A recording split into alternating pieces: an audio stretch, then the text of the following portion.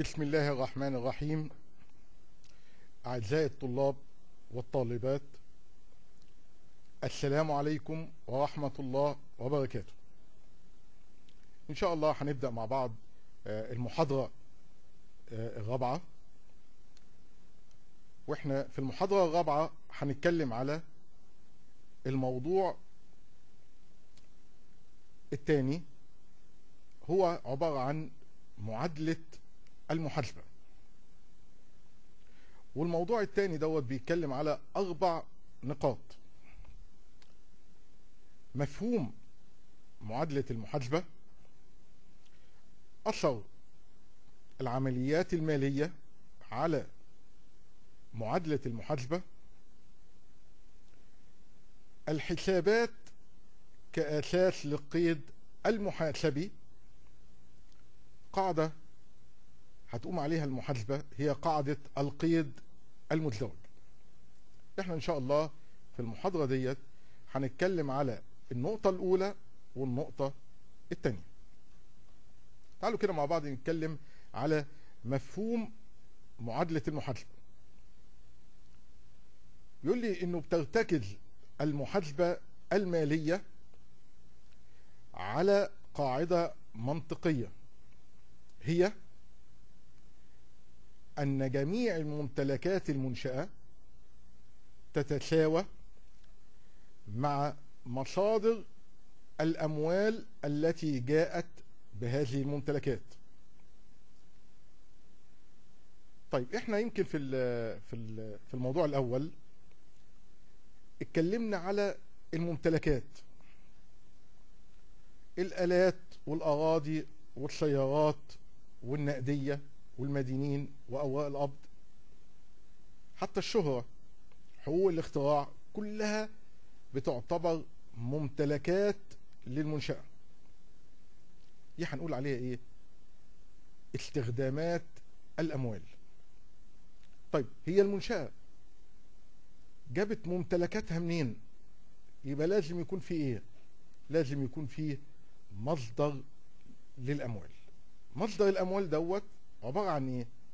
عبارة عن التزامات على المنشأة. يبقى نقدر نقول إن المعادلة المحاسبة هي عبارة عن إيه؟ هي عبارة عن استخدامات الأموال اللي هي الممتلكات تساوي مصادر الأموال اللي هي الالتزامات. طب تعالوا كده مع بعض.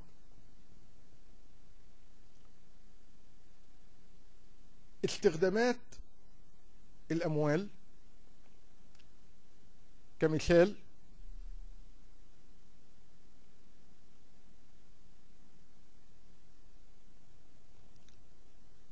اللي هي استخدامات الأموال ومصادر الأموال. تعالوا كده نشوف مع بعض بيقول لي إيه؟ بفرض أن نشاط عبد الله كان في مجال المخابز الآلية حيث أودع مبلغ 500 ألف ريال بالبنك في حساب المنشأة. وعلى فرض أن 100 ألف ريال قد اقترضها من البنك والباقي 400 ألف ريال من أمواله الخاصة. تعالوا كده نشوف مع بعض العملية ديت. بنقول إن عبد الله قرر إن هو يعمل مشروع. المشروع دوت اسمه المخابز الآلية. وطبعا عشان أي واحد يعمل مشروع يبقى لازم يكون عنده رأس مال. طب مبلغ اللي هيحطه عبد الله في البنك في حساب المنشأة في البنك حط كام في البنك؟ حط 500 ألف. دي اسمها إيه؟ نقدية بالبنك. يعني معنى كده إنه النهاردة المنشأة بتمتلك شوف إحنا بنقول إيه؟ المنشأة مش عبد الله المنشأة بتمتلك نقدية في البنك كام المبلغ 500 ألف. طب السؤال هنا هي جابت منين المبلغ ده؟ هنقول انه عبد الله جاب المبلغ دوت عن طريقين. خد قرض بمبلغ مئة ألف ريال دين ولا مش دين؟ دين. دين على مين؟ مش على عبد الله. دين على المنشأة للغير. وكمان عبد الله حط من أمواله الخاصة 400 ألف. يعني يعتبر إيه؟ يعتبر هو ده رأس مال المنشأة. دين ولا مش دين على المنشأة؟ دين. بس دين على المنشأة لمين؟ لصاحب المنشأة. يبقى نقدر نقول هنا إيه؟ إنه الأموال اللي موجودة في البنك اللي هم ال 500 ألف مصدرهم إيه؟ يبقى أشوف الناحية التانية. مصدر الأموال ديت قرض بمئة ألف ورأس المال 400 ألف. طيب ما تيجي نطبق الكلام دوت من ناحية المحاسبية. نقول إنه النقدية بالبنك اللي هي الاستخدامات هي دي تعتبر ممتلكات المنشأة. طيب هي الممتلكات ديت جبناها منين؟ أشوف كده القرض القرض دوت يعتبر التزام على المنشأة لمين؟ للغير. طب ورأس المال؟ هو برضه التزام أو دين على المنشأة بس لمين؟ لصاحبها. يبقى نقدر نقول إنه استخدامات الأموال أو ممتلكات المنشأة هي عبارة عن نقدية ومدينين وأوراق قبض وآلات وسيارات والشهرة. كل دول إحنا كنا سميناهم قبل كده إيه؟ الأصول. يبقى ممتلكات المنشأة الأصول. طيب والالتزامات اللي على المنشأة للغير. سواء كانت الالتزامات دي طويلة الأجل أو قصيرة الأجل الديون دي هنسميها إيه؟ الخصوم طيب والالتزامات اللي على المنشأة لصاحبها الالتزامات اللي على المنشأة لصاحبها اللي هي في شكل هنا إيه؟ رأس المال هي عبارة عن حقوق الملكية يبقى نقدر نقول إن معادلة المحاسبة هي عبارة عن إيه الأصول تساوي الخصوم زائد حقوق الملكية. ودايما المعادلة ديت لازم تبقى في حالة توازن يعني لازم أي عملية تتم لابد في النهاية الأصول تساوي إيه؟ الخصوم زائد حقوق الملكية. طب تعالوا كده نشوف مع بعض. أثر العمليات المالية على معادلة المحاسبة يعني إيه الكلام ده؟ العمليات المالية شراء بضاعة شراء آلات. الحصول على إيراد سداد مصروف دي بنقول عليها عمليات مالية. طب إيه بقى؟ أثر العمليات ديت على إيه؟ على معادلة المحاسبة.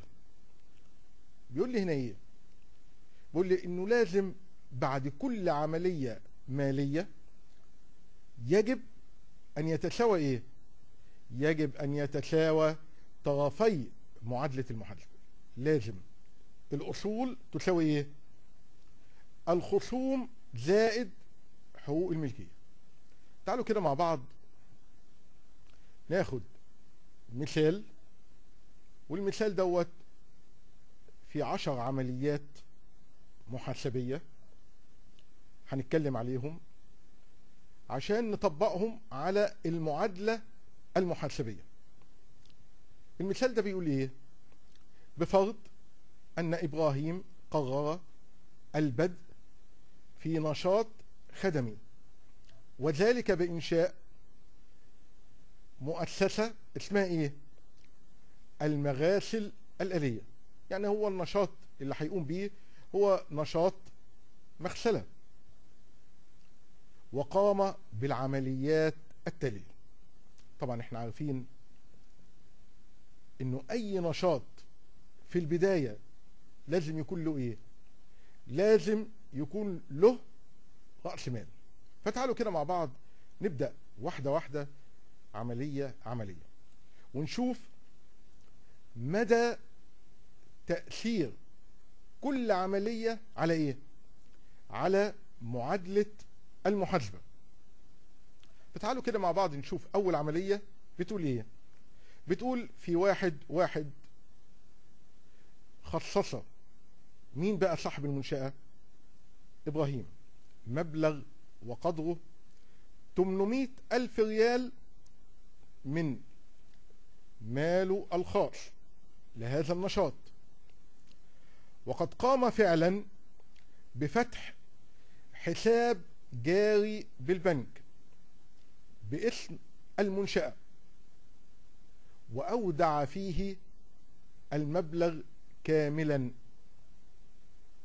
طب تعالوا كده نشوف مع بعض العملية ديت معناها إيه. إنه إبراهيم فكر إنه ينشئ مشروع فقرر انه يكون رأس مال المشروع دوت 800 ألف ريال. يبقى نقدر نقول رأس مال المشروع. قد إيه؟ ادي معانا.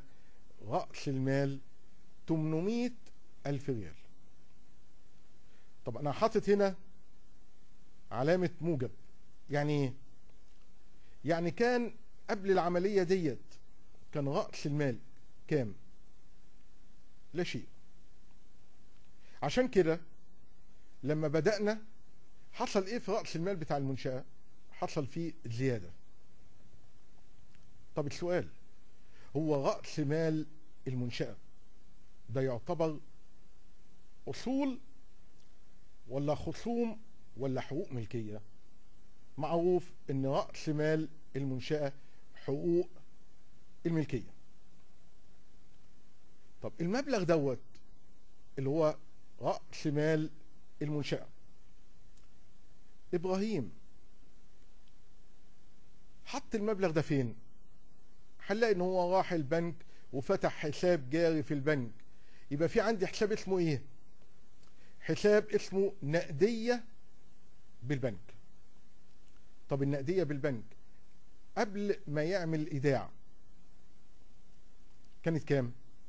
صفر مفيش. طب لما عمل إيداع حصل لها إيه؟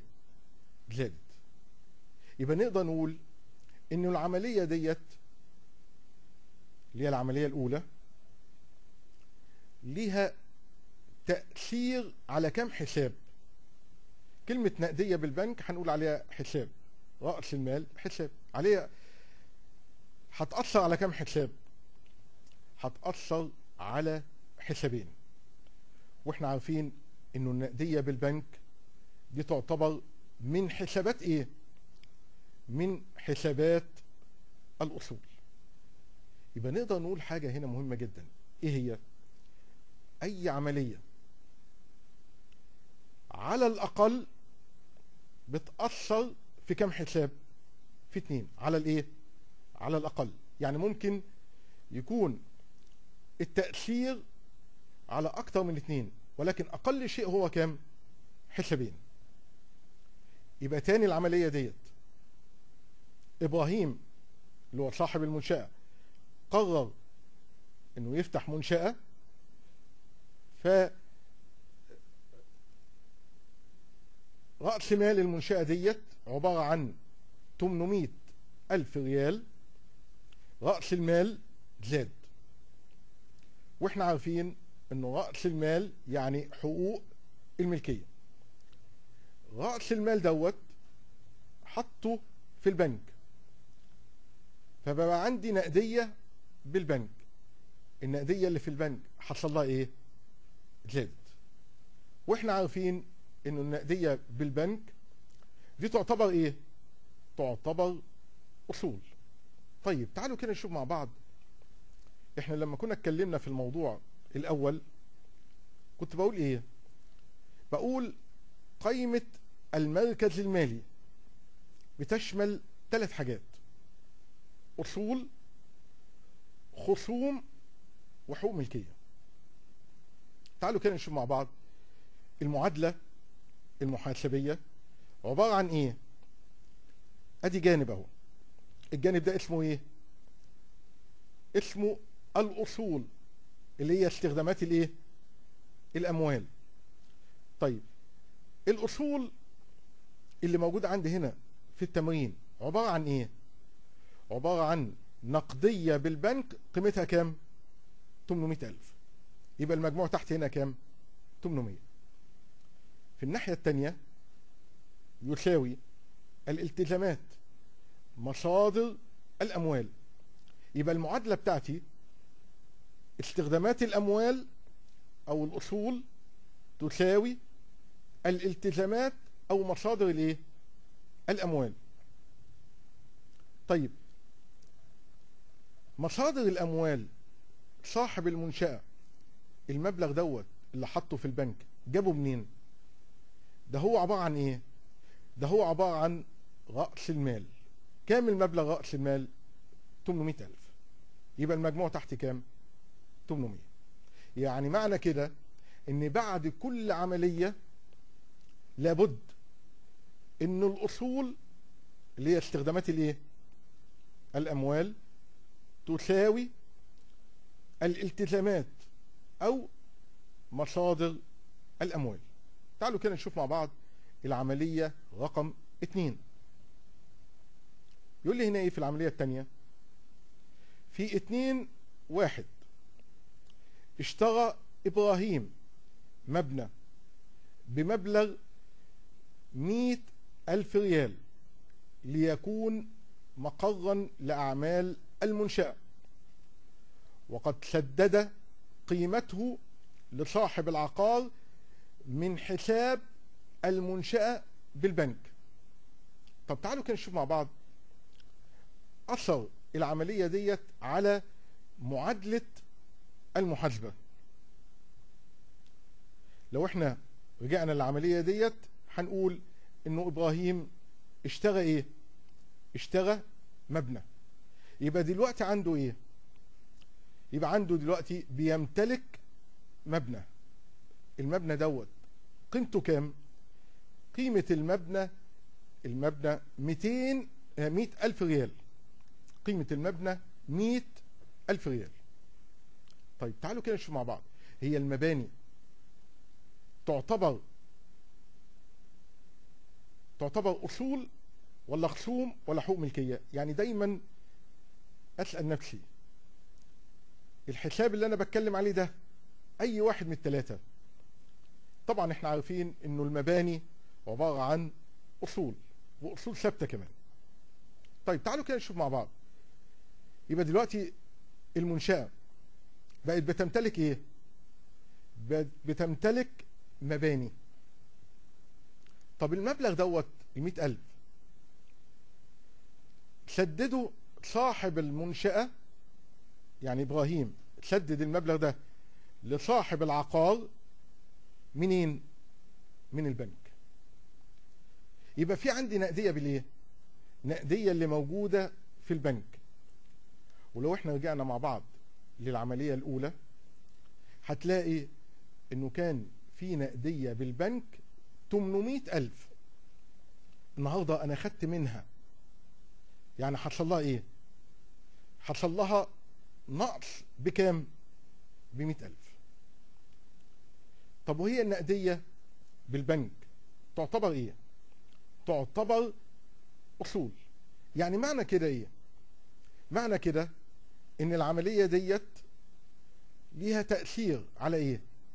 على أصول المنشأة. طيب ما تيجي كده مع بعض نشوف العملية ديت؟ لو إحنا عملنا قيمة المركز المالي. قيمة المركز المالي يعني في هنا عندي الجانب الأيمن الأصول اللي هي استخدامات الأموال. وفي الناحية الثانية الالتزامات أو مصادر الأموال اللي هي المعادلة معادلة المحاسبة. تعالوا كده نشوف مع بعض الأصول. أنا كان عندي نقدية بالبنك. دايما أنا بعمل إيه؟ بعمل إضافة على العملية السابقة. لو إحنا رجعنا كده للعملية السابقة هنلاقي إن أنا كان عندي كام؟ عندي نقدية بالبنك قيمتها كام؟ قيمتها 800 ألف. بس هنا أنا دفعت من النقدية بالبنك كام؟ دفعت 100 ألف. يعني النقدية بالبنك حصل لها إيه؟ حصل لها نقص. كانت 800 ألف. دفعت منهم 100 ألف يبقى دلوقتي النقدية بالبنك بقت كام؟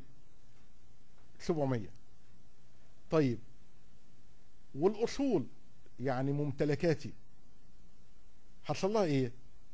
زادت. زادت بإيه؟ زادت بالمباني اللي أنا اشتريتها. يعني معنى كده في أصل. نقص اللي هو إيه؟ اللي هو النقدية بالبنك. في مقابل إنه أصل تاني حصل له إيه؟ زيادة. يعني أنا عندي نقدية بالبنك كانت 800 ألف دفعت منهم 100 ألف بقت دلوقتي النقدية 700 وكمان امتلكت بالإضافة للنقدية اللي موجودة في البنك امتلكت إيه؟ امتلكت مباني. قيمة المباني ديت كام؟ 100 ألف. المجموع هنا كام؟ 800 ألف. السؤال هل رأس المال المنشأة حصل عليه أي تغيير؟ طبعا لا. العملية ديت كان كل التأثير فين؟ في جانب واحد. هو جانب الإيه؟ جانب الأصول. يعني معنى كده إن حقوق الملكية اللي هو رأس المال زي ما هو 800 ألف. يبقى إحنا نطلع بحاجة هنا. إيه هي؟ إنه أي عملية تأثيرها على الأقل في كم حساب؟ على الأقل اتنين. يعني ممكن يكون أكتر من كده. بس أقل حاجة كام؟ اتنين. ولما جيت شفت هنا التأثير على قيمة المركز المالي. هل المجموع في الآخر اتغير؟ لا. بقت الأصول اللي هي استخدامات الأموال بتساوي إيه؟ الالتزامات أو مصادر الأموال. ولكن لاحظوا حاجة. إنه جوه هنا حصل إيه؟ حصل تغيير. لأنه كانت العملية الأولى كان في بند واحد. هو بند الإيه؟ بند النقدية. دلوقتي بقى في كم بند؟ بقى في عندي اتنين. بقت دلوقتي ممتلكات المنشأة نقدية بالبنك. كام المبلغ؟ 700 ألف. وعندها مباني بكام؟ بمئة ألف. الاتنين دول جابتهم منين؟ دايما نسأل نفسنا هي ممتلكات المنشأة منين؟ أروح راجع وشايف كده مصدر الأموال. يبقى مصدر الأموال المنشأة هو إيه؟ رأس المال. طب تعالوا كده نشوف مع بعض العملية الثالثة بيقول لي في أربعة واحد اشترط المنشأة العدد والآلات اللازمة للقيام بعمليات الغسيل من محلات البركة بمبلغ 250 ألف ريال وتم تجديد المبلغ بشيك. يمكن العملية ديت قريبة جدا من العملية السابقة. هنا المنشأة اشترت إيه؟ اشترت عدد وآلات. العدد والآلات ديت هي عبارة عن ممتلكات المنشأة. أصول.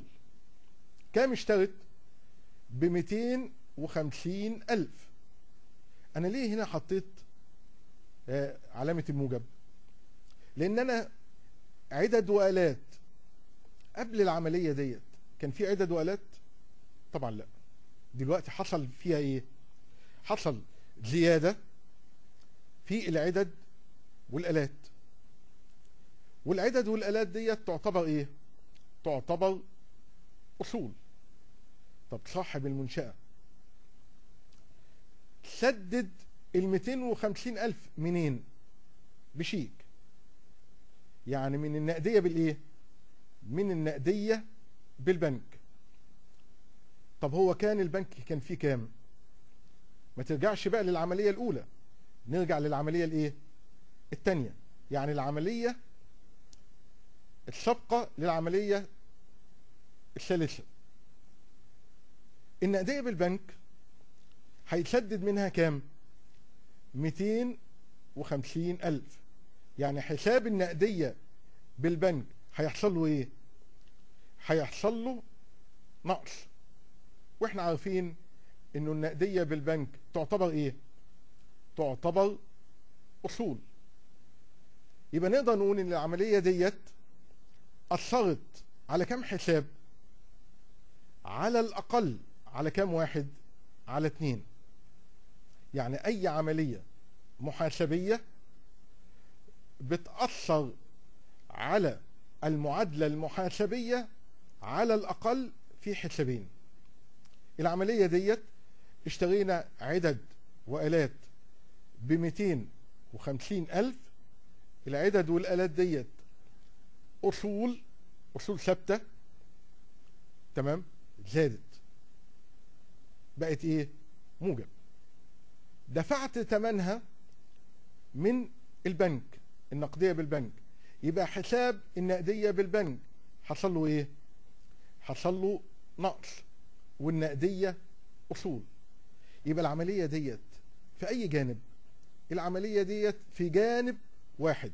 هو جانب الإيه؟ جانب الأصول. تعالوا كده مع بعض نشوف إزاي بيتم إعداد قائمة المركز المالي للمنشأة بعد العملية ديت. هنسأل الأول النقدية بالبنك كانت كام؟ يبقى أرجع لمين؟ أرجع للعملية السابقة اللي قبلها على طول مباشرة وهلاقي إنه كان عندي عندي نقدية بالبنك كام المبلغ النقدية بالبنك 700 ألف. دفعت منهم كام؟ النقدية بالبنك حصل لها إيه؟ حصل لها نقص بكام؟ ب 250 ألف. يبقى 700 ألف أطرح منها. 250 ألف. يبقى دلوقتي عندي نقدية بالبنك كام؟ 450 ألف. طيب والمباني؟ زي ما هي. كانت قيمتها كام؟ 100 ألف. موجودة زي ما هي. طيب إيه اللي زاد عندي؟ عدد وآلات. اشتريت أنا عدد وآلات بكام؟ عدد وآلات ب 250 ألف يعني تعتبر إيه؟ أصول. يبقى السؤال هنا ممتلكات المنشأة عبارة عن إيه؟ عبارة عن نقدية بالبنك مباني عدد وإيه؟ وآلات. السؤال جابت منين الحاجات ديت؟ يبقى أعمل إيه؟ يبقى أجي أشوف الناحية التانية مصادر الأموال. هشوف هنا مصادر الأموال هلاقي إن مصدر الأموال حاجة واحدة. هو إيه؟ هو عبارة عن رأس مال المنشأة. طيب هل الأصول أو استخدامات الأموال بتساوي الالتزامات أو مصادر الأموال؟ في النهاية الجنبين لازم يتوازنوا. تعالوا كده نشوف مع بعض العملية الرابعة. بتقول إيه؟ بتقول في خمسة واحد قام إبراهيم بسحب مبلغ 120 ألف ريال من حساب المنشأة بالبنك. ووضعه بصندوق المنشأة. يعني اللي عمله إبراهيم كالآتي. خد مبلغ من البنك وحط المبلغ دوت في صندوق المنشأة. يعني الخزنة اللي موجودة فين؟ اللي كانت موجودة في المنشأة. طبعا إحنا عارفين أي منشأة لازم يكون فيها إيه؟ فيها صندوق أو خزنة. عشان يدفع منه آه، أي مصروفات متعلقة بالمنشأة. يبقى نقدر نقول هنا إنه أثر العملية ديت على معادلة المحاسبة تعال نشوف مع بعض. النقدية بالبنك. هو سحب 120 ألف من حساب المنشأة بالبنك. يبقى النقدية بالبنك حصل فيها زيادة ولا نقص؟ طبعا بيقول لي سحب. يعني معنى كده النقدية حصل إيه؟ حصل فيها نقص بكام؟ بمية وعشرين ألف. وإحنا عارفين إن النقدية بالبنك تعتبر إيه؟ أصول ممتلكات المنشأة. طب المبلغ دوت اللي سحبه حطه فين؟ هنلاقيه إن هو حطه في نقدية بالصندوق. الخزنة بتاعت المنشأة. طب خزنة المنشأة قبل المبلغ ده كان فيها إيه؟ ما كانش فيها حاجة. كانت صفر لما حطيت فيها ال 120 ألف حصل لها إيه؟ حصل لها زيادة. يبقى إيه اللي حصل هنا في العملية ديت؟ حساب النقدية بالبنك. نقص بكام؟ ب 120 ألف. وحساب النقدية بالصندوق حصل فيه إيه؟ حصل فيه زيادة ب 120 ألف. وعموما حساب النقدية بالبنك. والنقدية بالصندوق. الاتنين بيعتبروا إيه؟ بيعتبروا أصول. تعالوا كده نشوف مع بعض تأثير العملية ديت على قائمة المركز المالي للمنشأة. أكيد في الأول هنشوف النقدية بالبنك. كان فيها كام؟ واحد يقول لي كده النقدية بالبنك كان فيها كام؟ يبقى لازم أرجع لإيه؟ أرجع للعملية السابقة. هرجع للعملية السابقة هلاقي النقدية بالبنك كان فيها كام؟ كان فيها 450 ألف. هشيل منها كام؟ هشيل منها 120 ألف لأن النقدية بالبنك حصل فيها إيه؟ نقص. يبقى دلوقتي 450 ألف أشيل منها 120 ألف يبقى كام؟ 330 ألف. طب المبلغ ده اللي أنا خدته من البنك حطيته فين؟ حطيته في الصندوق. يعني النقدية بالصندوق بقى فيها كام؟ 120 ألف. وطبعا النقدية بالصندوق حصل فيها زيادة. يعني جانب الأصول في حساب النقدية بالبنك نقص ب 120 في المقابل النقدية بالصندوق حصل فيه إيه؟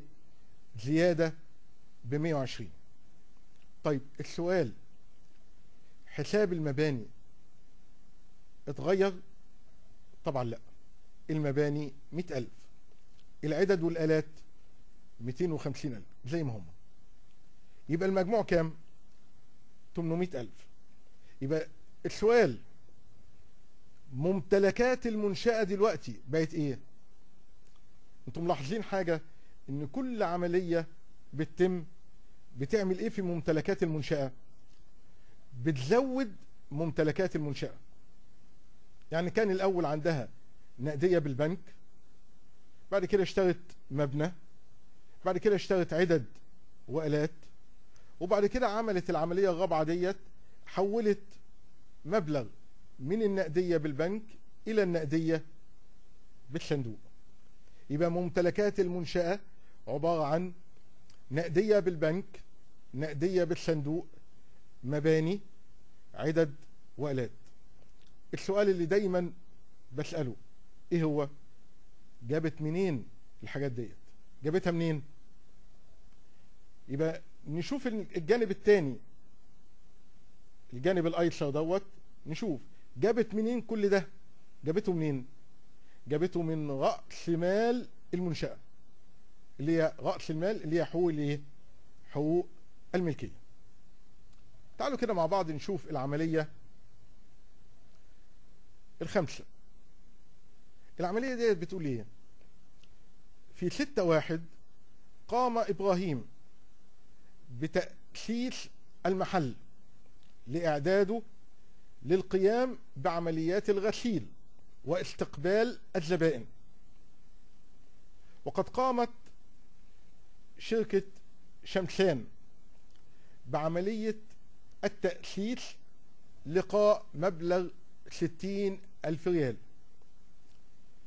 حيث استلمت مين اللي استلم؟ شركة إيه؟ شمسان نقدا مبلغ عشرين ألف ريال والباقي وقدره أربعين ألف ريال على الإيه؟ على الحساب. تعالوا كده نشوف مع بعض العملية ديت هي عبارة عن إيه. هو إبراهيم قرر إن هو يشتري أساس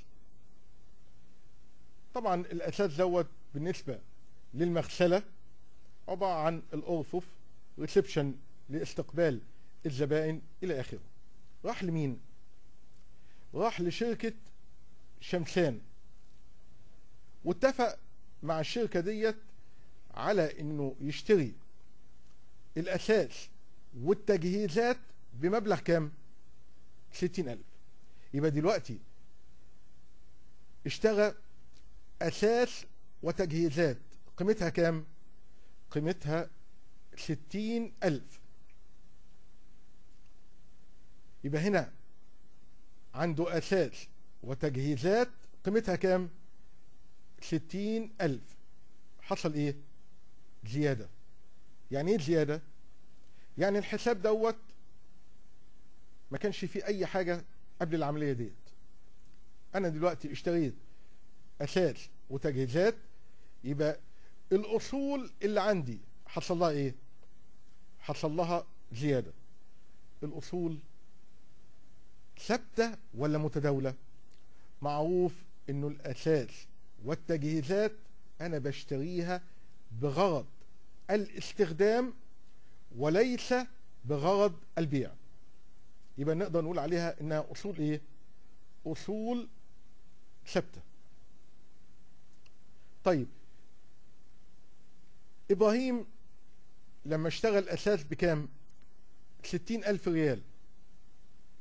دفع كام؟ حيث استلمت ديت مين اللي استلم؟ شركة شمسان. يعني معنى كده إنه إبراهيم أو المنشأة دفعت لشركة شمسان مبلغ عشرين ألف ريال نقدا. يعني من البنك ولا من الصندوق؟ أكيد طبعا. نقدا يعني منين من الصندوق. يبقى حسابنا في الصندوق حصل له إيه؟ حصل له نقص. نقص بكام؟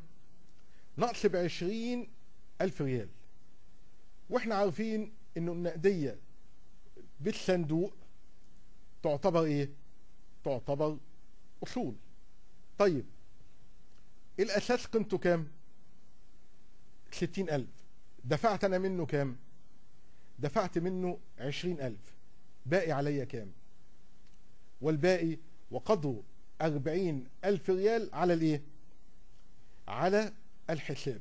كلمة على الحساب أو بالأجل معناها دين على المنشأة. طب الدين ده على المنشأة لمين؟ لشركة مين؟ لشركة شمسان شركة شمسان ديت صاحب المنشأة ولا الغير؟ شركة شمسان ده الغير. يبقى كلمة دائنون ديت معناها إيه؟ ديون على المنشأة. طيب الديون ديت قيمتها كام؟ أربعين ألف ريال. يعني الديون بتاعتي حصل لها إيه؟ زادت. طبعا قبل العملية ديت ما كانش فيه حساب اسمه إيه؟ حساب دائنون دلوقتي بقى فيه حساب دائنون في كام مبلغ؟ في أربعين ألف ريال. طب السؤال الدائنون دي تعتبر تعتبر إيه بقى؟ تعتبر ديون على المنشأة للغير. وكلمة ديون على المنشأة للغير هي إيه؟ خصوم. كلمة دائنون عشان برضه تبقى واضحة بالنسبة لنا هي عبارة عن إيه؟ مبالغ على المنشأة لمين؟ للغير. يعني خصوم. طيب يبقى معنى كده العملية ديت أثرت على كم حساب؟ على ثلاث حسابات. اشتريت أساس بستين ألف فالأساس كممتلكات زاد يبقى أصولي زادت دفعت من الستين ألف عشرين ألف من النقدية بالصندوق. يبقى النقدية بالصندوق نقصت. والنقدية معروفة أصول. طب والباقي؟ الباقي ده يعتبر دين على المنشأة. دين على الايه دين على المنشأة. والدين ده على المنشأة للغير. الغير دول اسمهم خصوم. طب تعالوا كده نشوف مع بعض تأثير العملية ديت على إيه؟ على قائمة المركز المالي. زي ما إحنا عارفين إنه في عندي هنا الجانب دوت الأصول اللي هي استخدامات الإيه؟ اللي هي عبارة عن استخدامات الأموال. تعالوا واحدة واحدة كده مع بعض ونشوف.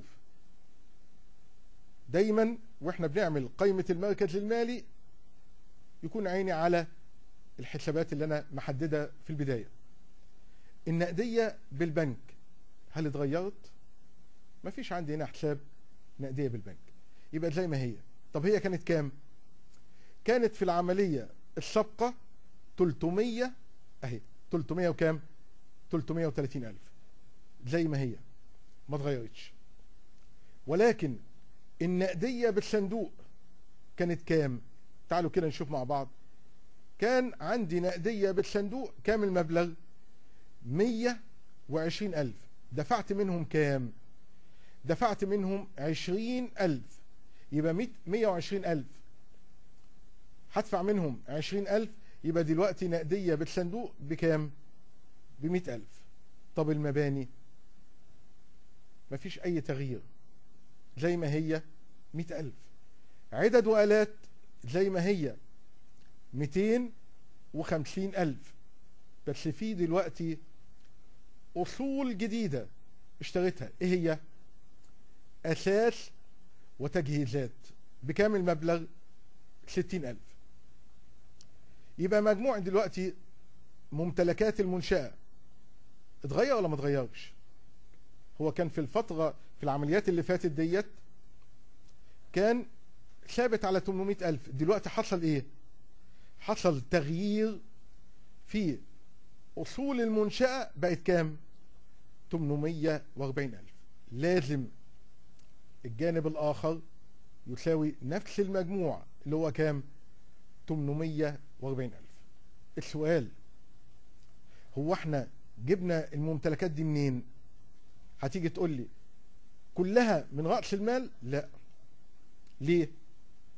لأن عندي هنا إيه؟ في عندي هنا ديون. مصادر الأموال دايما حاجتين. مصادر الأموال عبارة عن خصوم وحقوق ملكية. حقوق الملكية اللي هي عبارة عن رأس المال. ولكن العملية ديت تمت في جزء منها عن طريق الدائنون. والدائنون يعني إيه يعني دين على المنشأة للغير يعني خصوم. يبقى نقدر دلوقتي نقول إنه ممتلكات المنشأة جابتها عن طريق حاجتين. إيه هما؟ عن طريق رأس مال المنشأة بال 800 ألف وكمان عن طريق حساب الدائنون اللي هو كام؟ اللي هو عبارة عن 40 ألف. يبقى هنلاحظ حاجة إنه الثلاث حسابات اللي موجودة عندي ظهروا فين؟ ظهروا في قائمة المركز المالي. الأساس بستين ألف أصول النقدية بالصندوق كانت بمية وعشرين ألف نقصتها بعشرين ألف بقت مية ألف. الدائنون دين على المنشأة يعني التزامات يعني خصوم دائنون بكام؟ بأربعين ألف. طب وفي الآخر لازم المعادلة المحاسبية يحصل فيها إيه؟ لازم تتوازن. الجانب الأيمن يساوي إيه؟ الجانب الأيسر. تعال نشوف مع بعض العملية رقم ستة. بيقول لي إيه؟ في 15 واحد. حصلت من فندق الأفراح على مبلغ عشرين ألف ريال نقدا. يعني قبضت كام؟ عشرين ألف ريال نقدا. لقاء إيه؟ لقاء قيام المنشأة بأعمال غسيل خاصة بالفندق.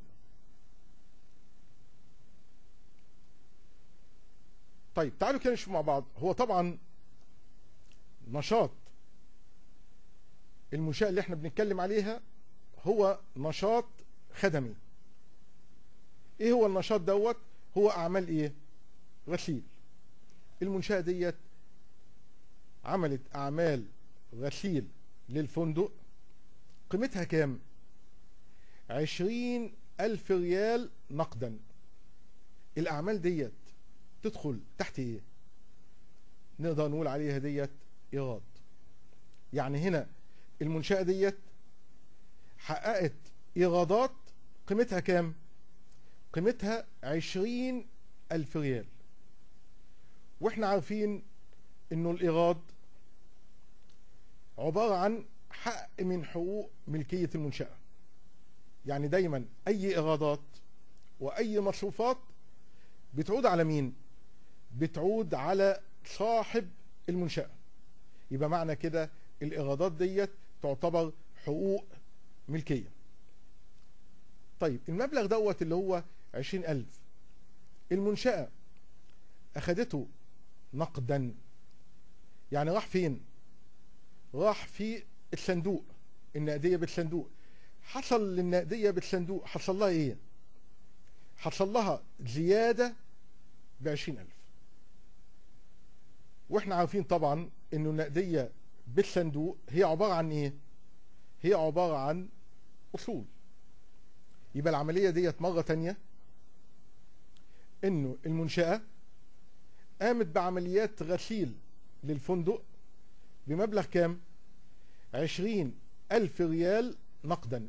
يعني معنى كده النقدية بالصندوق زاد بعشرين ألف أصول.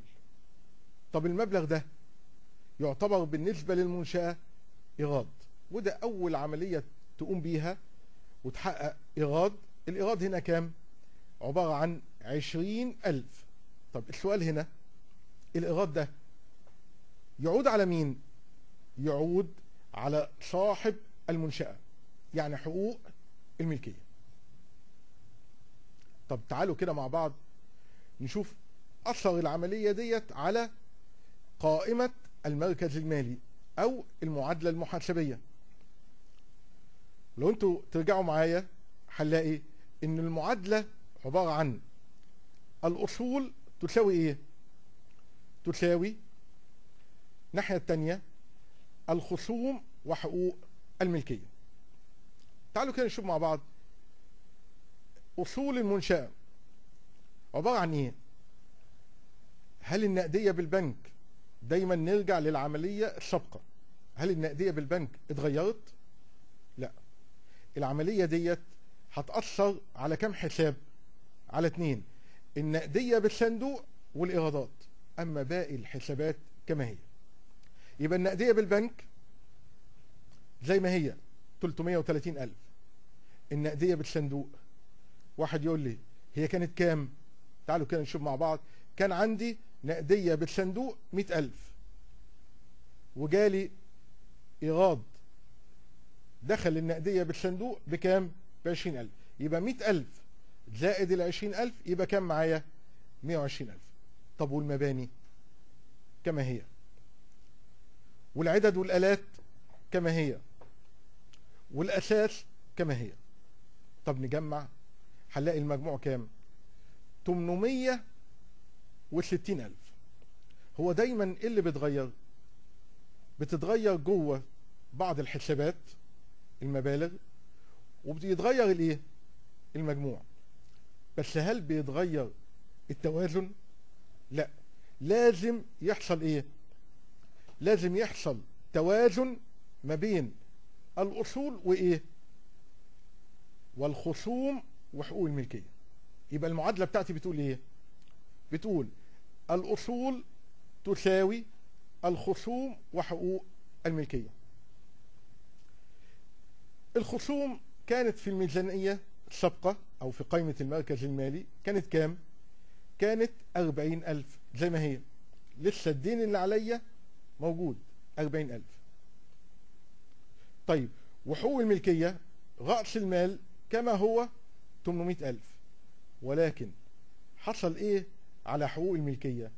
حصل زيادة لحقوق الملكية قيمتها كام؟ 20 ألف. الزيادة دي في شكل إيه؟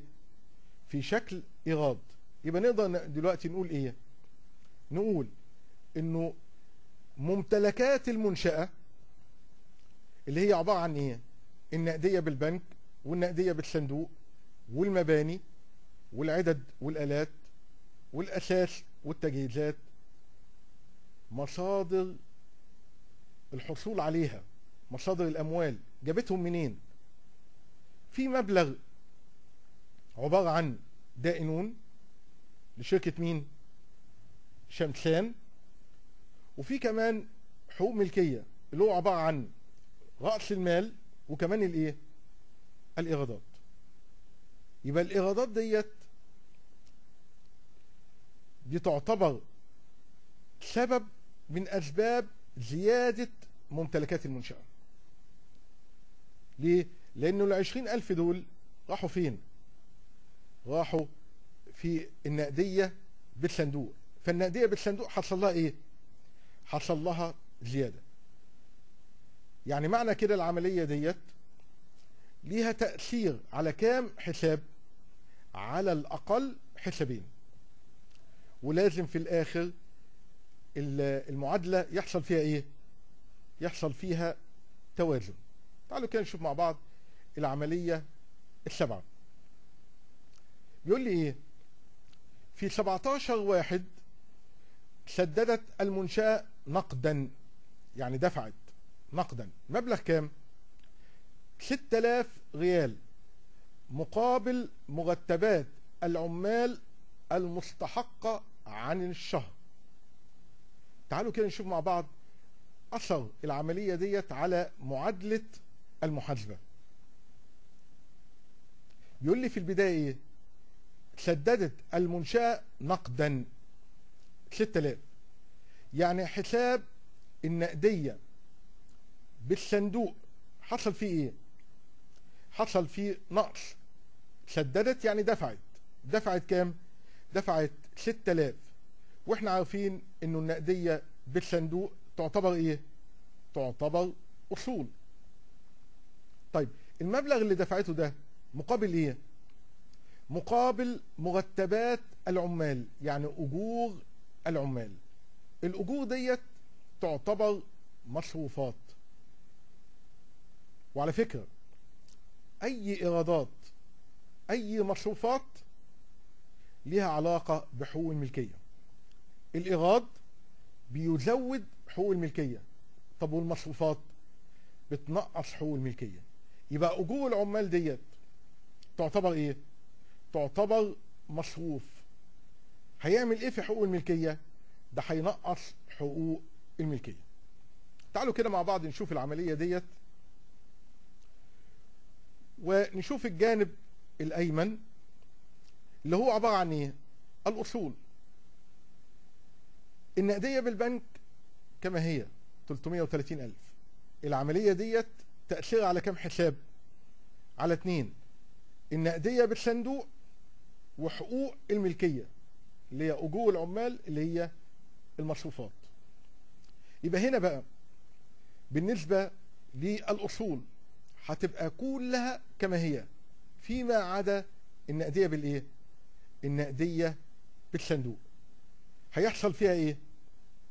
هيحصل فيها نقص طب هي كانت كام؟ تعالوا كده نشوف مع بعض العملية السابقة كان في عندي نقدية بالصندوق كان في كام؟ مية وعشرين ألف دفعت منهم كام؟ دفعت منهم ستة آلاف يبقى مية وعشرين ألف أطرح منها ستة آلاف يبقى النقدية بالصندوق دلوقتي بقت كام؟ مية وأربعتاشر ألف طب النقدية بالبنك كما هي. المباني كما هي. عدد وآلات أساس وتجهيزات كل الحسابات كما هي. طب ما تيجي نشوف الناحية التانية. الناحية التانية عبارة عن الخصوم وحقوق الملكية. طيب تعالوا كده نشوف مع بعض الخصوم. هنلاقي إن الخصوم ما اتغيرتش. زي ما هي. لسه الدين اللي علينا كما هو. كام المبلغ؟ أربعين ألف. طب حقوق الملكية؟ حقوق الملكية؟ حقوق الملكية؟ رأس المال كما هو. ما حصلش تغيير. بس كان في في العملية السابقة كان في إيه؟ كان في عندي إيرادات بكام؟ بمبلغ عشرين ألف. ودلوقتي في عندي إيه؟ عندي مصروفات بكام؟ بستة آلاف. يبقى نقدر نقول حاجة هنا. طبعا هو في الآخر جانب الأصول لازم يساوي إيه؟ جانب الخصوم وحقوق الملكية هنا كام عندي؟ هنا عندي 854 ألف هنا برضو 854 دي عبارة عن الأصول وهنا الخصوم 40 ألف وحقوق الملكية مجموعها كام؟ 800 ألف. زائد 200 ألف زائد 20 ألف أطرح منها 6000 يطلع معانا 814 ألف. الرقم لما أحطه بين قوسين ده معناه إنه بالطرح. بس نطلع بحاجة هنا من العملية ديت. إنه حقوق الملكية هي عبارة عن إيه؟ هي عبارة عن رأس المال زائد الإيرادات ناقص المصروفات تعالوا نشوف مع بعض كده الملحوظة ديت. يقول لي إيه؟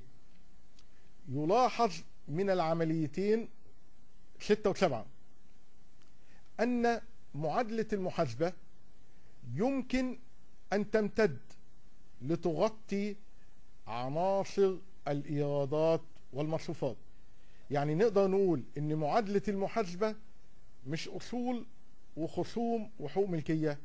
لا ده هندخل عليها كمان الإيرادات والإيه؟ والمصروفات. وفي هذه الحالة تأخذ معادلة المحاسبة الصيغة التالية. الأصول تساوي الخصوم زائد حقوق الملكية وحقوق الملكية ديت بتزيد بإيه؟ تزيد بالإيرادات وبتنقص بالمصروفات تعالوا كده نشوف مع بعض العملية ديت. يبقى هنا نقول الأصول بتساوي إيه؟ الأصول بتساوي الخصوم زائد حقوق الملكية زائد الإيرادات ناقص المصروفات إحنا لو طبقنا النواحي الرياضية هنقول إيه؟ هنا في علامة إيه؟ يساوي طيب. المصروفات بالسالب. لو خدتها ونقلتها الناحية التانية هتبقى بإيه؟ هتبقى بقيمة موجبة. يبقى نقدر نقول المعادلة بقى عبارة عن إيه؟ الأصول زائد المصروفات هتساوي إيه؟ الخصوم زائد حقوق الملكية زائد الإيرادات. يبقى نقدر نقول هنا لما خدنا المصروفات نقلناها إلى الجانب الثاني الأصول ما هي معادلة. المعادلة من حق إن أنا آخد حساب أو طرف هو هنا بال بال بال بالسالب. أنقله الناحية التانية. لما أجي أنقله الناحية التانية في الرياضة بيقول لي لما تنقله انقله بإشارة مخالفة. يعني هو بالسالب هننقله هنا بقيمة موجبة.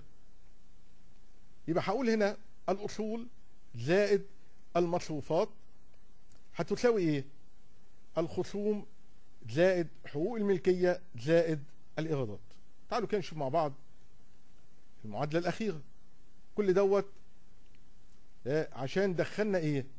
عشان دخلنا الإيرادات والمصروفات على المعادلة المحاسبية. يبقى نقدر نقول أن الأصول زائد الإيه؟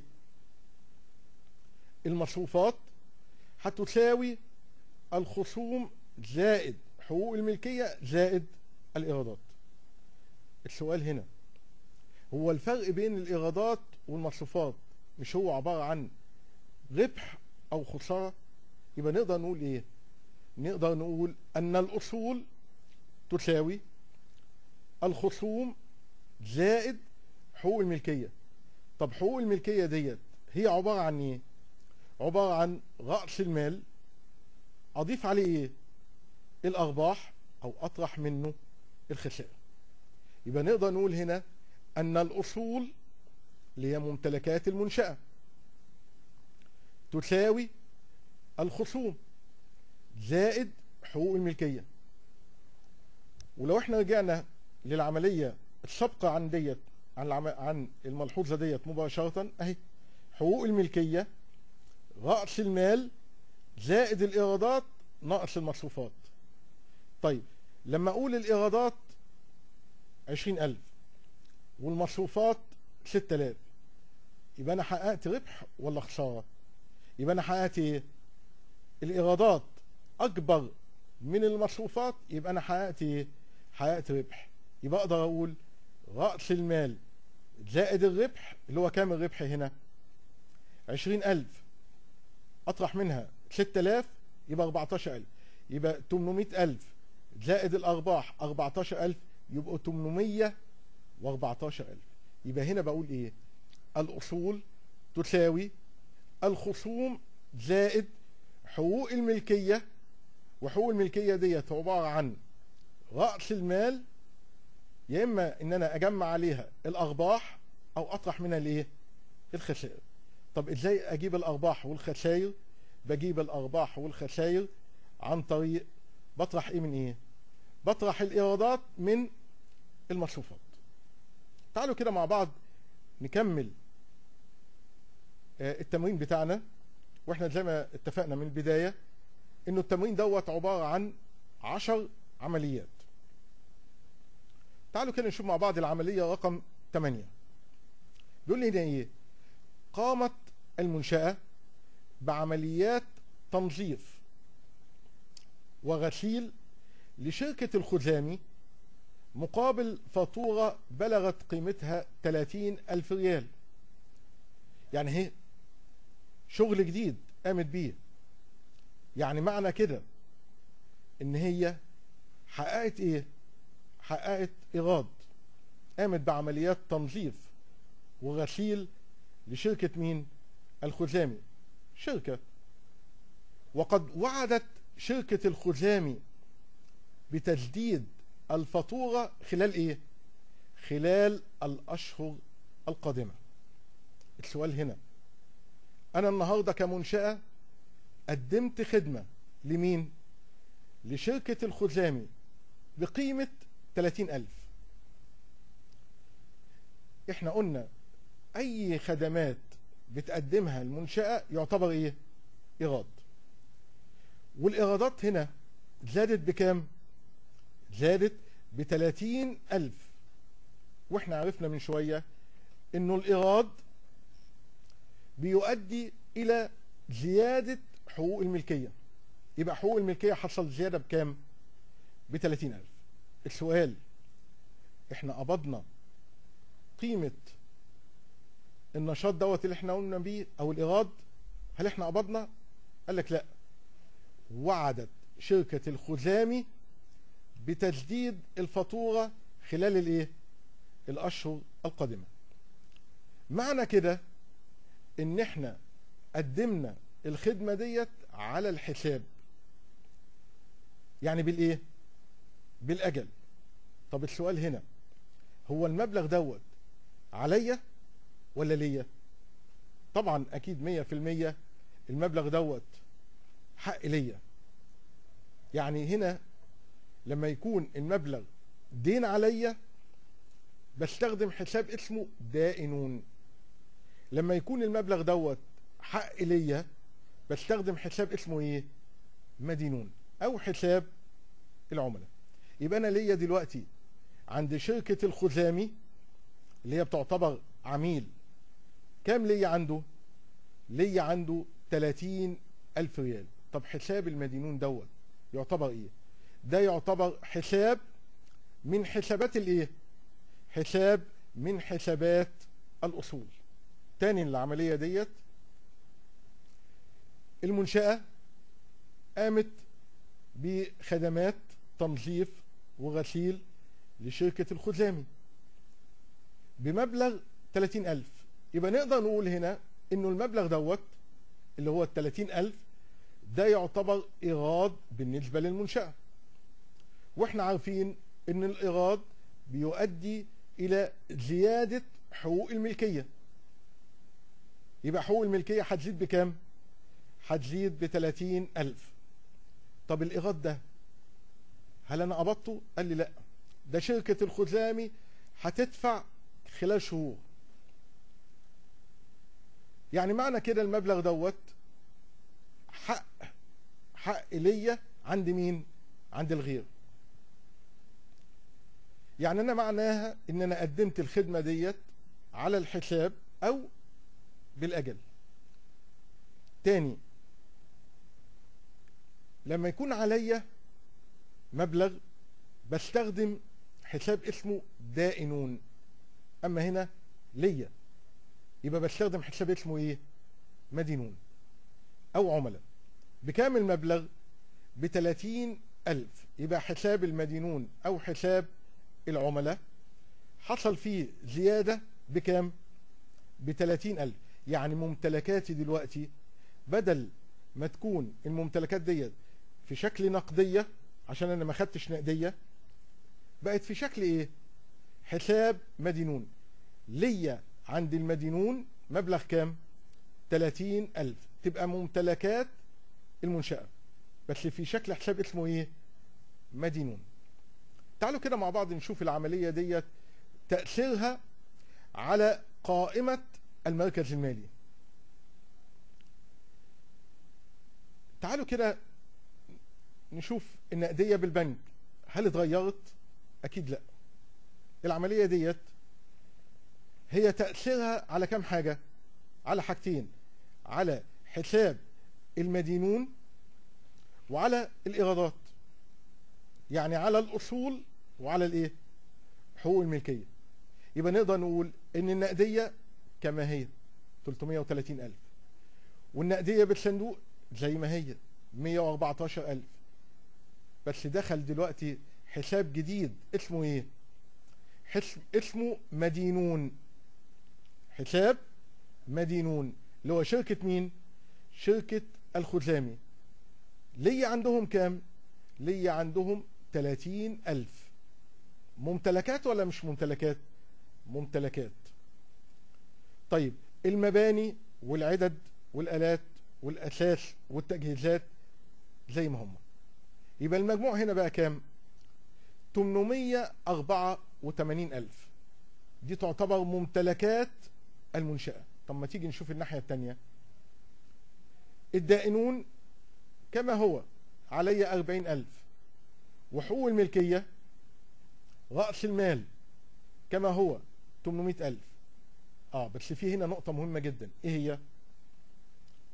الإيراد. هل الإيراد 30 ألف؟ لو إحنا رجعنا للعملية رقم سبعة. هلاقي كان عندي إيراد متسجل بكام؟ بعشرين ألف. ودلوقتي عندي إيراد كمان بكام؟ ب 30000 يبقى 20000 و30000 يبقى المنشأة ديت حققت إيراد مجموعه كام؟ 50000 والمصروفات كما هي. يبقى نقدر نقول إن حقوق الملكية هي عبارة عن إيه؟ رأس المال زائد إيه؟ زائد الإيرادات ناقص المصروفات. حقوق الملكية عبارة عن إيه؟ رأس المال زائد الإيرادات ناقص المصروفات. أو حقوق الملكية هي عبارة عن رأس المال زائد أو ناقص الربح أو الخسارة. يعني لو إحنا النهاردة شفنا الإيرادات كام هنلاقي إن الإيراد 40000 أطرح آه 50000 الإيراد 50000 اطرح منه إيه؟ المصروفات 6000 يبقى 50000 اطرح منها 6000 يبقى معايا 44000 يبقى الربح بتاع المنشأة 44000 الربح دوت أضيفه على رأس المال يبقى 800000 زائد 44000 يبقى 844000 دي عبارة عن إيه؟ حقوق الملكية. في الآخر هنلاقي إيه؟ إنه لازم جانب الأصول يساوي إيه؟ يساوي جانب أو مصادر الأموال اللي هي عبارة عن الخصوم وحقوق الملكية. تعالوا كده نشوف مع بعض العملية رقم تسعة. يقول لي إيه سددت المنشأة. جزء من الرصيد المستحق عليها لشركة شمسان حيث سددت بشيك مبلغ 30 ألف ريال. يعني المنشأة لو إحنا رجعنا للعملية رقم 8 هنلاقي إن أنا عليا دين بكام؟ عليا دين قيمته 40 ألف ريال لمين؟ لشركة شمسان دفعت منه كام؟ تعالوا كده نقرأ مع بعض. قال لي دفعت منه 30 ألف ريال. دفعته بإيه؟ بشيك. يبقى نقدر نقول إنه النقدية بالبنك يقول لك سددت يعني إيه؟ يعني دفعت. يعني النقدية بالبنك حصل فيها إيه؟ حصل فيها نقص. بكام المبلغ؟ نقصد بتلاتين ألف. وإحنا عارفين إن النقدية بالبنك أصول.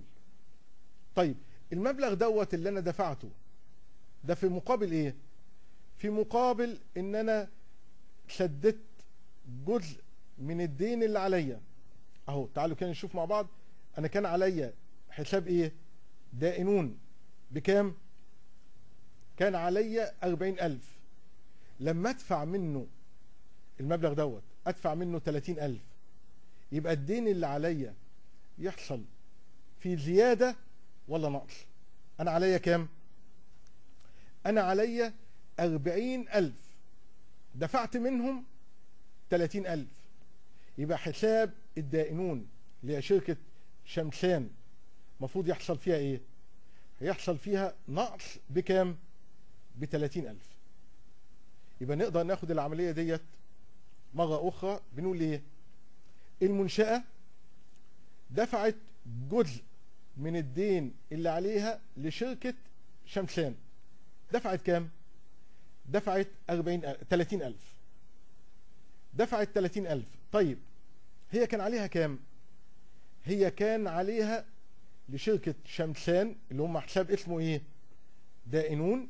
كان عليا 40 ألف. لما ادفع لهم ال 30 ألف.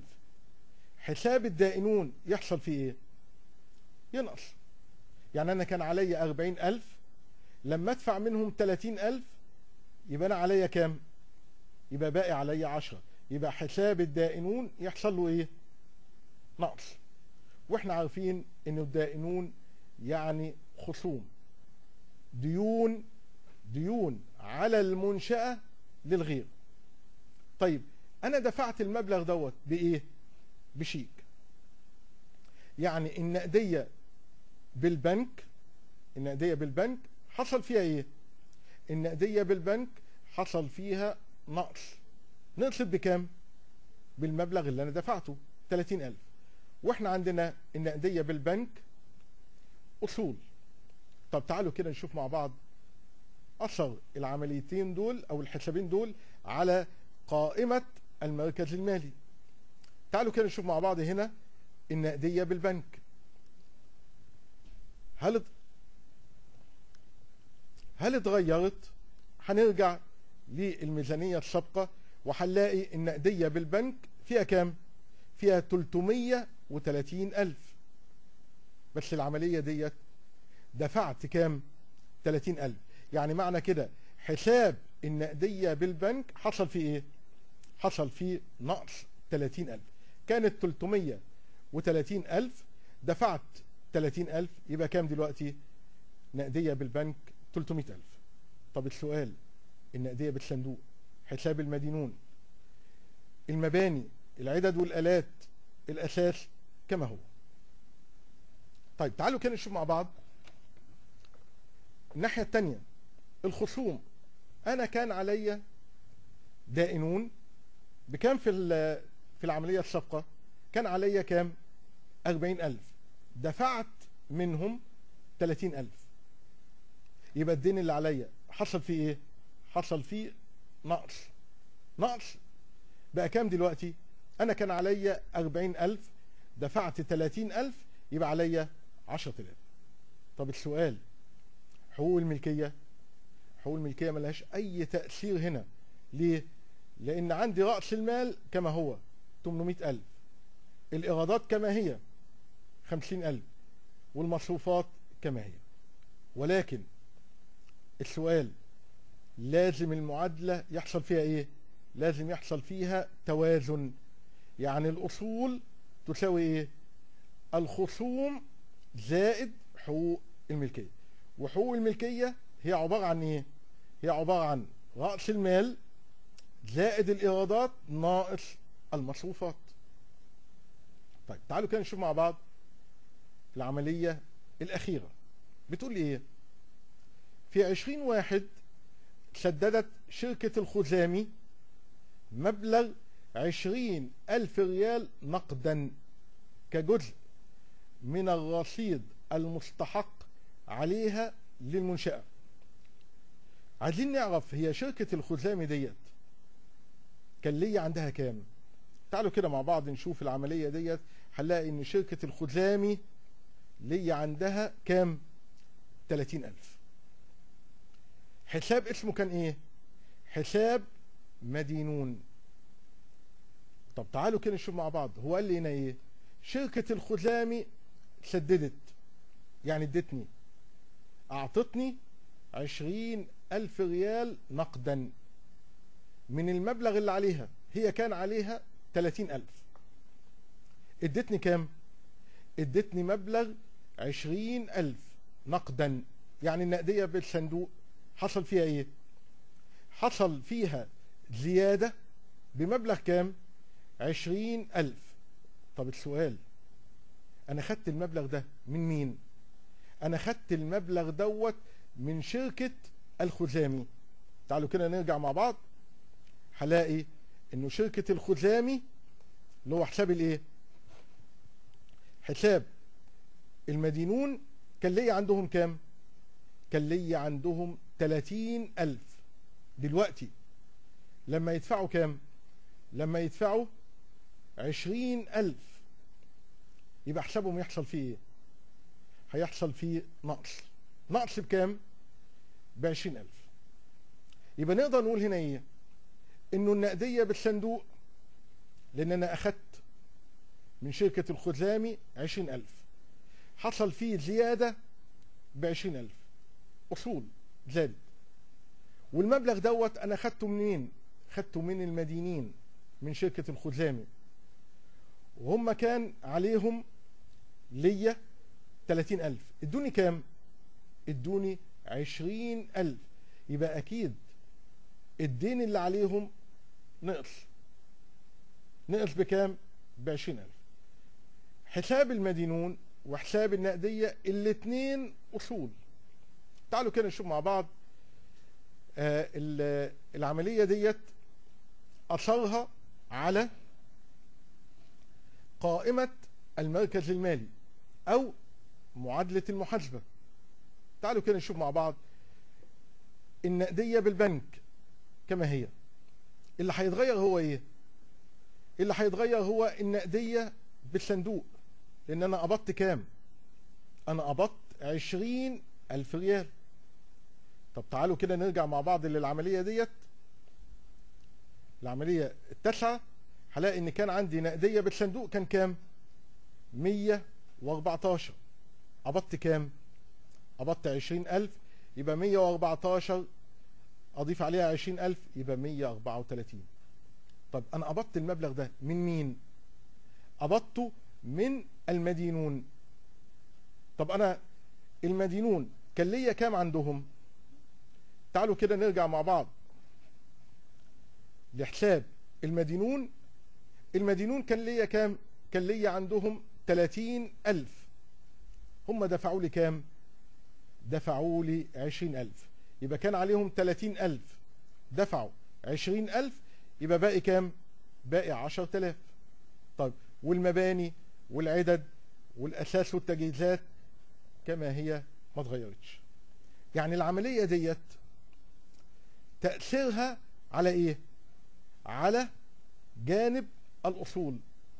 النقدية بالصندوق زادت في مقابل حساب المدينون اللي هو المبالغ اللي ليا عند الغير نقصت لأن قبضت.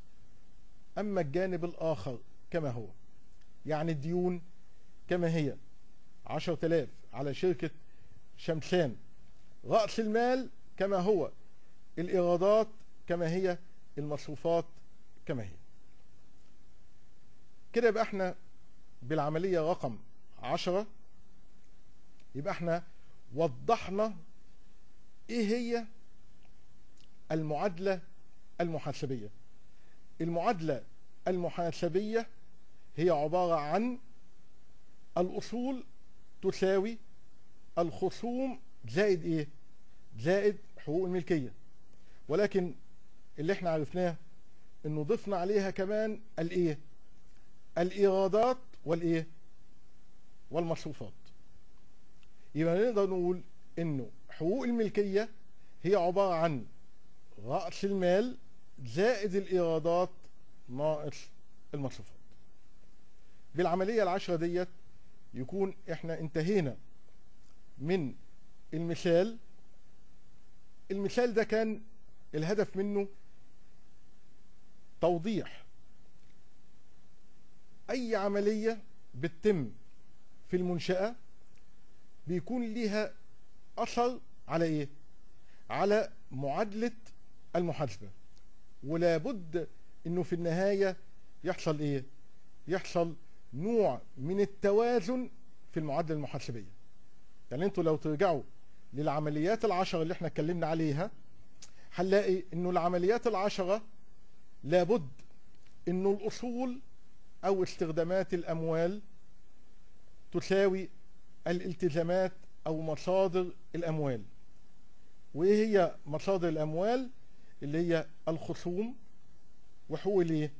الملكية. وعرفنا إن حقوق الملكية اللي هو عبارة عن رأس المال زائد الإيرادات ناقص المصروفات.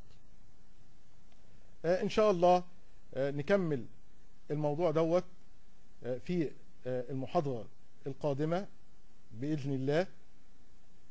وده يعتبر الموضوع الثاني له تكملة في المحاضرات القادمة إن شاء الله. بتمنى ليكم كل الخير والسعادة وربنا دايما يوفقكم والسلام عليكم ورحمة الله وبركاته.